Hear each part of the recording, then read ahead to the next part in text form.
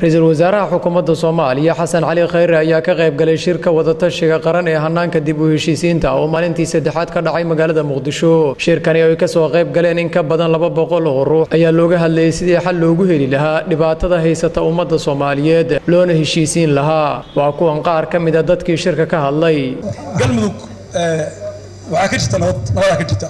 Colaadna meelaha qaarkood ka jiraan waxaan idiin sheegi karaa oo maanta cadday karaa magaalada kaliya oo soomaaliya ku taalla oo madaxweyne uu luqay kara habeenkii asagoo waardiyahaysa galmudug laga helayo runtii mana ahan maaha asagoo madaxweyne uu luqay karo habeen lix saac galmudugaa laga dhexli karaa. Ruuxanta marka laga hadlayo. Waxa weye nabadda marka marka aan cabirayno waxaa la rabaa haddaan soomaali nahay meel walbaba waxa ka jira runta laga sheego ayaa loo baahan yahay marka aad iyo aad waxaan idinku mahad celinayaa wasaaradda arrimaha gudaha oo runtii annaga daan buntland nahay galmudug aan runtii jeclaanahayn inay wax badan wax ka bedesho qaabka oo procedurekeeda. Ku dheeraan maayo laakiin maamul ahaan aan kaga hadlayna waxyaalo badan oo tabayna. Waxaan rajaynayaa si shirkan ay u mardhalaan si cadaalad iyo procedure saxa in dowlad goboleedyada iyo loo miisaamo. Shirka wadatashiga qaran ee lagu yegeleelayo hannaanka dib heshiisiinta waxaa loogu talagalay in uu socdo shan maalmood. Ilaahay xamdigiisa si wanaagsan ayuu inoogu bilaabmay wuxuu socdaa hadda maalintii saddexaad ayuu galay. Waxa uu shirkani socon doonaa ilaa iyo maalintii sabtida haddii ila idhaahdo kadibna waa la soo gebagabayn doonaa.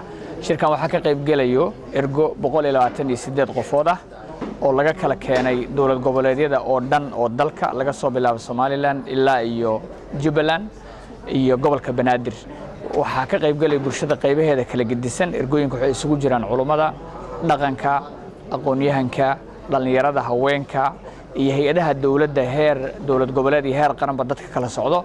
Waxaa loogu talagalay in maskax shiil lagu sameeyo saddexda maalmood ee dhexe.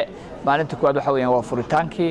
Maalinta labaad waxay ahayd soo jeedinta casharo furfurasho ah oo dad khuburaya halkan ay ka soo jeedsheen oo kala taabanayo dhaqanka soomaaliyeed iyo dib u heshiisiinta islaamka iyo dib u heshiisiinta sidoo kale warbaahinta iyo dib u heshiisiinta iyo noocyada dib u heshiisiinta guud ahaanba caalamka soomaaliya waxa ay kala wadaagto khilaafaadka ragaadsaday ee sanadaha badan qaatay nusqarni dadka qaarkood ay ku tilmaamaan laakiin inta soomaaliya ee dowladda dhexe meesha ay ka baxdeen hadda laga joogo labaatan toddoba sannadood. Ra'iisul wasaaraha xukuumadda soomaaliya xasan cali khayr ayaa sheegay in soomaaliya ay ka daashay colaad loona baahan yahay inay heshiiso.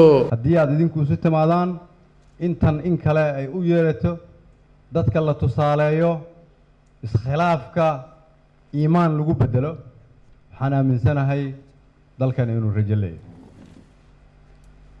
waxaa kaloo muhiima inaan ogaano haddii dalkeennu uu xasilo kulligeen nolosheennu intaan way ka wanaagsanaanaysaa. Haddii dalkeennu uu hagaago carruurteennu waxay helaysaa waxbarasho isbitaallo nabad adduunyaday la tartamayaan. Laakiin haddii in inteennan magaalada xamar ku nool oo hadda halkan joogta haddii jidka aan marnaba qoryana laku ilaalinayo haddii aanan habeenka socon karin haddii markaan xanuunsanno aan isbitaal tegi karin.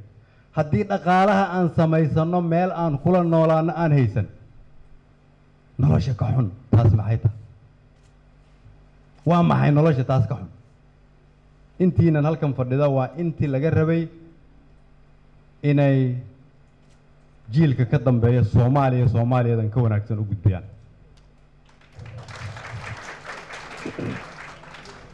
inteennan halkan isugu timid waa inteenna ku saakhiday inaan dhisno soomaaliyada xaqana la kugu leeyahay. Maxamed macalin mustaaf kalson t v muqdisho